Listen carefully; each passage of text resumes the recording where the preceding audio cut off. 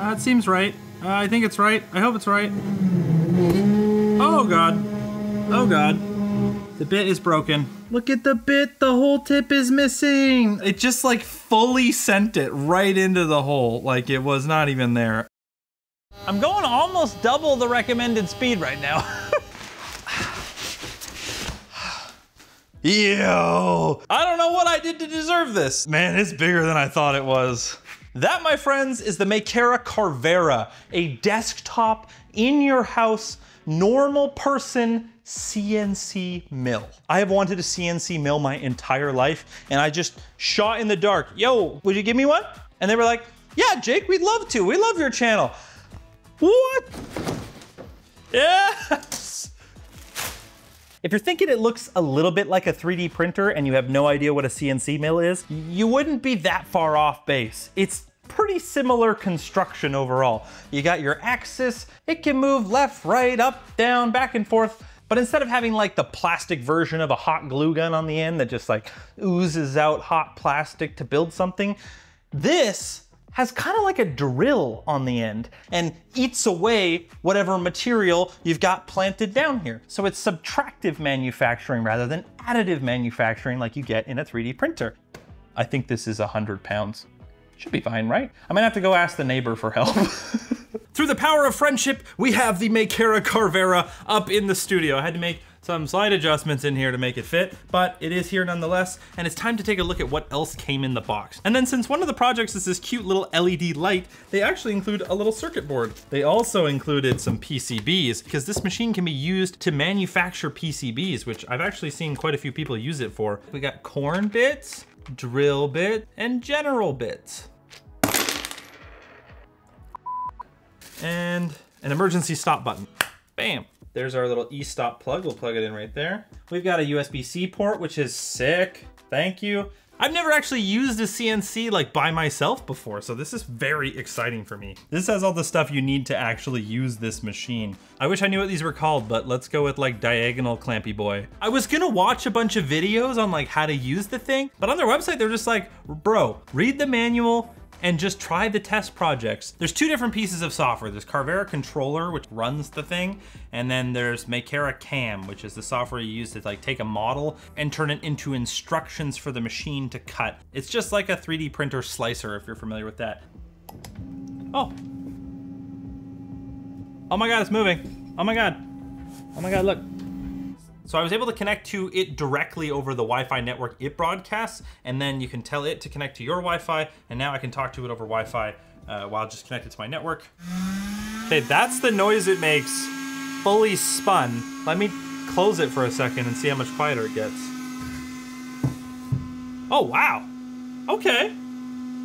Man, that cover seriously reduces the amount of noise this thing makes. It's not grinding any metal right now, but it's not like ridiculously loud. Okay, so I finished reading the manual and I have learned a few more things.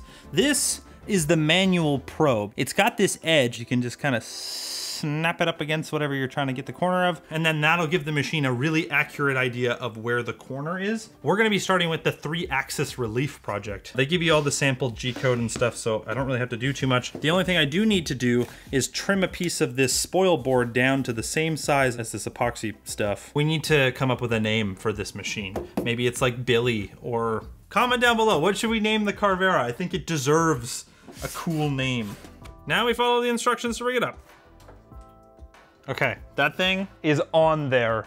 It better not move. Oh, it grabbed it! It grabbed it! Iconic. Iconic! There you go, and you can see all of the stuff here on the side. I believe this one is saying to grab tool one. And oh man, you can even see the cuts that it's gonna make. Wow. So, YOLO? Oh, it's grabbing the tool. I think it's just going to the position we set earlier, and then it's going to probe with the little wireless probe. Bloop. There we go, it probed. Sorry, I'm being very unsafe, everybody. Much cooler. Safety is cool, I promise. Oh, Holy shit, it's machining. Oh my god, it's machining. It's doing stuff, guys. Oh my god. Oh shit! Oh shit! Holy shit, it's like cutting. Oh my god. Why am I so aroused right now? I can't believe it's working! Which is precisely what I said after getting an easy and affordable eSIM from Nomad, who sponsored this portion of today's video. If you're anything like me, then you'll know exactly how painful it can be trying to sort out a data connection when you're traveling. I've tried the carrier's super expensive roaming charges. I've tried getting a local SIM card. Heck, I've even tried other eSIM providers. All of those things have just resulted in taking an otherwise good vacation and turning it into a frustrating one. And why Nomad has become my go-to travel companion. It gets you instant and reliable access to a data connection in over 200 countries. Plus, it's super easy to get connected. Just download the Nomad app from the App Store, pick a plan. They have options for travel short or long, and you're connected just like that. Not to mention, it's super affordable with plans starting as low as $1.10 per gigabyte, and there's no hidden fees. So make your travel plans a breeze, way easier by downloading the Nomad eSIM app. We'll have it linked down in the description and a QR code here, and use code JAKKUH for 20% off your first plan. That's a smoking deal, all right? It was already a good deal, now it's a smoking deal. So I think what it's doing right now is just cleaning up the top surface to get it nice and flat. Now that it's machining like down in a pocket, the vacuum is picking up pretty much all those little epoxy bits, so that, that's pretty good. So far it's been using a big bit to take away all the extra material, and now it seems like it's switching to that really fine V-shaped bit to machine out the actual details. It also seems to have cut out the channel around. Wow. So, yes, thank you, puppy. Because the parts that are done so far, you can see look like crap, but then the parts that are more accurately machined now with the fancy fine tool, it's like visualizing it in there. That's so cool. All of the cheap mills I was looking at don't have an enclosure. So like, you're making way more mess than this does. At least, even if the vacuum doesn't really get it all, you can clean it up after pretty easily. First cut on the Makera Carvera. It's a very detailed part. Like, it went through with a like a pretty rough bit to start, and then that second pass with like the little needle point, little V-shaped guy took so long. Here's the spoil board. You can see when it did the final cut pass to like free our little workpiece there, it just barely cut into this. So this, very useful if you're doing something like this. It would be cool to have a test project where you have to set it up yourself because a huge part of doing anything CNC is CAM which is where you go from a 3D model into the movements of the machine, the speed of the spindle, how far you cut, all that sort of stuff. And that's the hard stuff. So Carvera, maybe think about having an advanced version of each of the projects where it shows you how to set them up because that's what I want to learn. The folks at Metal Supermarket, shout out to those guys. A really cool store in Canada where they just like sell metal in all shapes and sizes. Just gave me a bunch of like free blocks of aluminum out of their scrap bin. It's a little bit thicker than the material that I was working with on that test project, so I needed kind of a better way to mount it. So I went over to Princess Auto, which is our version of Harbor Freight, if you're familiar, like cheap budget tools, and I picked up this crappy little drill press press vise for $25. Kind of a piece of junk. It's good enough to hold the metal where I need it to be for now. So let's see if it cuts then, shall we? Man, I almost forgot. There's also an air in. And what this is gonna do is just supply compressed air to effectively just blow all the little chips of metal out of the way because I've been told when you're machining chips of metal are not something you usually want like staying where you're cutting, if you can avoid it. It also helps cool the bit, and since some of the things I'm gonna cut are gonna take a really long time, cooling seemed like a good idea. Now, I hope this isn't too noisy. It's not gonna be too bad, right? It's pretty bad. Maybe if I just shut the door? Oh yeah, that, that helps. We go on the laptop and turn the air on, air comes out. Cool, right? Now you can adjust the amount it comes out with this little nozzle. There's fully sending. I got it kind of pointed at the tip of the bit. So that seemed like it made the most sense. But uh, I don't really know what I'm doing. So hopefully it's good enough. I spent the last two days trying to decide what do I machine in like a reasonable amount of time for this project with the metal pieces I have. And I came up with engraving my YouTube channel name on the top of the piece of metal.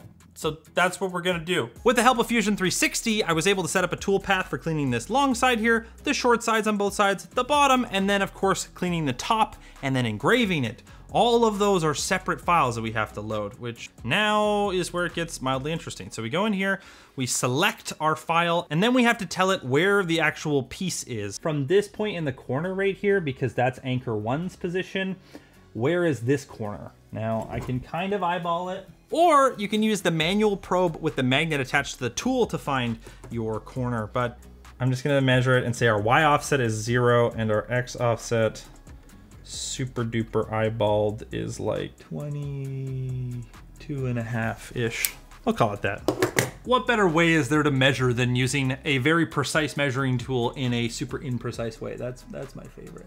Scan outline is just gonna draw uh, like a line with the probe just to show us that like, yeah, you did uh, do your dimensions like somewhat right. It's working! Holy shnikes, boys and girls, we're machining aluminum! And honestly, like the vacuum is grabbing most of the chips. I'm actually kind of impressed. Now this is using the default feed rates in Fusion 360. They give you a bunch of profiles you can download that gives you all the machine parameters, the tool parameters, at least for the ones that they include, and whatnot. What if we just speed it up a bunch? That's 50% faster. Oh, come on. It just barely missed the end, man. Bloody hell. I mean, it's pretty clean, though.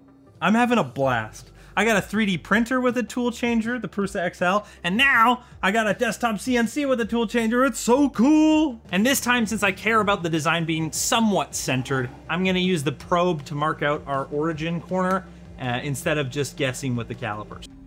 We've got it super closely lined up on the corner there. You can see it's like just on the edge. And then if we go to our file, start running, set our work origin to current position. Oh, you know what? I took like two millimeters off of the side to clean it up, which means this whole design is gonna be like two millimeters off now. The air assist seems to work really well, actually. I'm seeing like no chips left over, although it does make a way bigger mess. Oh my god, there's 20 minutes left. Uh, it seems right. Uh, I think it's right. I hope it's right. Oh god. Oh god. Look at the bit, the whole tip is missing. Oh god. Oh, it just like fully sent it right into the hole, like it was not even there. Um, I don't know what to do about this now. And now, we try the laser. Now, I put the animals upstairs because lasers are kind of dangerous, and we, of course, need to be safe. For some reason, in both Makera software and Lightburn with the profile they provide, it defaults to a maximum of 20% on the laser, and because it's such a low power laser at around 2.5 watts, you need to turn it up a bit more. So I have it set to 90% max, and with the Lightburn output, which operates in a much faster method, like doing a tracking kind of style where it's adjusting the laser output as it goes to draw the image rather than making dots like Makera Cam does, um, it's, it's going pretty quick Ah, it's Arlo and Wood Farm! That's so cool! the line that's here is because I enabled the auto Z height, like leveling feature, which I should not have. Look at him catching the Pocari sweat bottle cap. Ah! While the laser is really weak sauce, it's still a really nice thing to have. Just like on some of those 3D printers that have lasers too. It's just like, you get, you get double bonus, two in one, baby. It might not cut wood, but it will make it look cute. I know how I'm making Christmas presents this year. However, I haven't actually cut anything out of metal that I'm actually happy with. Here's attempt one, which you can see I stopped partway because I broke a bit. And here's attempt two, which I let continue, but it continued with a broken bit. I'm gonna give it one more shot. Now I went ahead and overnight shipped some smaller bits I actually kind of know how to use because that engraving bit, no idea how to make that work properly. It's time for my last hurrah! Will I be able to successfully cut something in metal? Now we find out. Ooh, please work. Oh, the air's not on. Shit, shit, shit,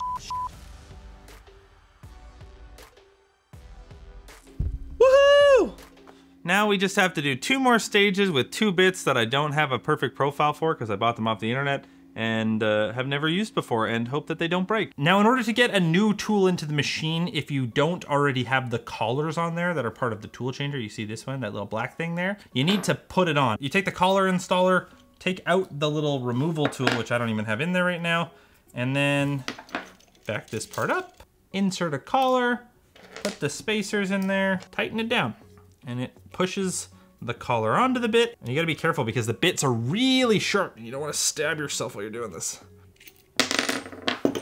And just like that, we've got another bit ready to go in the tool changer. I probably should have watched a few more videos before I started this. There's definitely a huge element of fucking around and finding out. I'm just stoked to finally be cutting something in metal and it not break. Oh god, I gotta watch this. Oh god, please don't up, please don't up. Ah! Oh god, it's fine. Okay, everything's fine. It's going real slow, and it looks pretty clean. God damn it! I'm so dumb! I'm so dumb, dude. I just cut like a straight line through the whole sign. Yeah. Well, let's spend a bunch of time cleaning it up so it looks pretty, huh? That seems like a good use of time. Uh, I've got this thing ripping right now at double the recommended cut depth. Man, it's it's going. I'm almost tempted to go faster, but like, it's so close to finishing the cut. That would be so brutal if it broke at this point. oh, it's doing it. 180%. It's starting to make a spooky noise. I think I'm gonna not go any faster. I'm gonna try 200%. It literally handled double the speed at double the depth I'm supposed to be doing. Not bad, eh? It's just cutting out the last little bit at the very bottom and leaving a couple little tabs that I can just snip out. Aside from the giant gouge in the top and the fact that I didn't actually do like a finishing pass on the top to clean it up, the cuts are pretty clean. I mean, there's a bit of bumpy bumpy. Again, I really didn't do a finishing pass and I was full sending the side.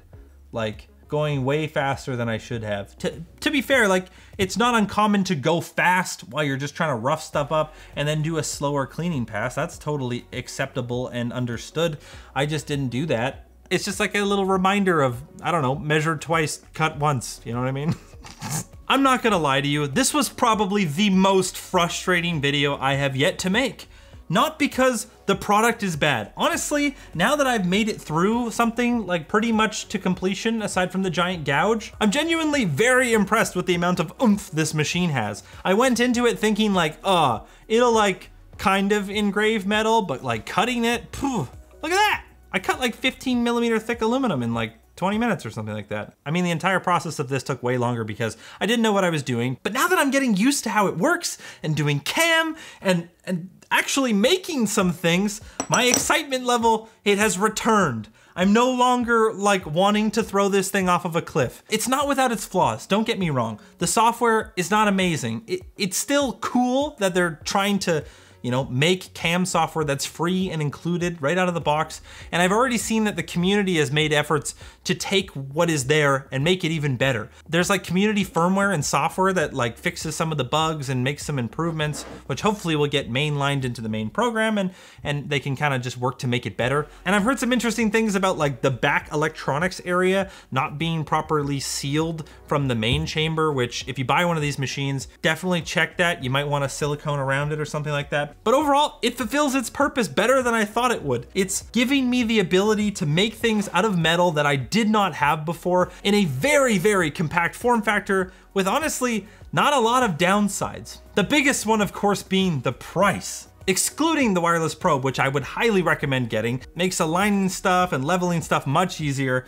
This thing is 5,500 US dollars, which is not cheap. It does have a pretty substantial build area considering the overall size. It does cut metal, it can laser etch wood. It, it's really freaking cool, but that is a lot of money. Stepping into the next price point, to get something that's fully enclosed like this, you're probably spending multiple times more money. Sure, you could have a manual mill and that would be really cool, but it's automatic, it has a tool changer. They do have other machines that are way cheaper. The Carvera Air, which is a much smaller version without a tool changer, is half the price. And the new Z1, which is currently on Kickstarter, I would never recommend Kickstartering anything, but once it's shipping, thousand US dollars for a machine that can machine metal, has a camera, does a bunch of cool stuff. So assuming that actually makes it to market, the world of like homegrown manufacturing in frickin' metal, it's becoming a reality, and that is so cool.